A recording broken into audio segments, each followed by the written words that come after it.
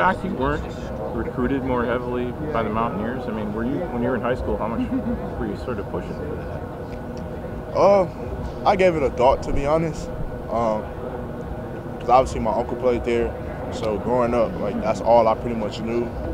Um, uh, Oklahoma was also, you know, one of my top schools growing up though.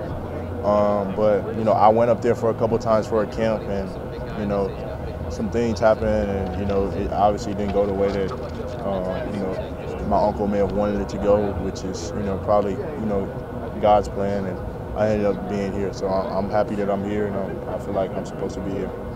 Who was your favorite pass rusher to watch growing up, and um, and overall your favorite player to watching? Uh, favorite pass rusher? Man, I got a few, but I mean, uh, Von is Von is pretty amazing. Uh, I like Khalil Mack too, uh, but I feel like Von is just more of like I feel I kind of see a lot of my a lot of my game as far as pass rush a little bit in Von um, being able to just speed rush and use my speed and stuff like that. But um, my favorite overall player probably would be Ray Lewis. Um, just the leader and the, the way he can rally guys and the way that he plays the, the game um, would be would we, you know probably one of my probably that's, that's my favorite player of all time. So I just watch him a lot. Um, I have quite a bit of uh, guys that I really like in the NFL.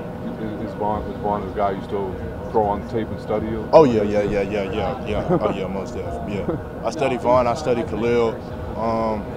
because it's just you know I see those being able to use that stuff in my game, being able to go out there and uh, you know be better in my game at that. So One more thing, during the, the fumble return, pretty much sealed that game. Like, did you notice how quiet the stadium got as that play unfolded? I mean, is that something that you noticed? yeah, uh, that that place went dead silent. Uh, I mean, besides our fans cheering, but pretty much silent for the most part. So um, that was it was interesting and it was definitely fun because you know I promised my uncle that I was gonna come out there and win, and so uh, um, we made it happen. For as much as people have talked about the OU defense, do you point to a game like that and say, "Hey, we scored twice ourselves. You know, we we're making plays too." Yeah, it's definitely good to see us make big plays and force turnovers and stuff like that. But um, going into this year, we got to do that more. We got to be more consistent with that. So that's really what we're pushing for right now. You guys haven't lost a road game since you since you've been here. What is it? What is it about the mentality of this team that, that plays so well on the game? Uh, it's just something special about going to somebody else's house and taking taking taking their food and, and, and going back home.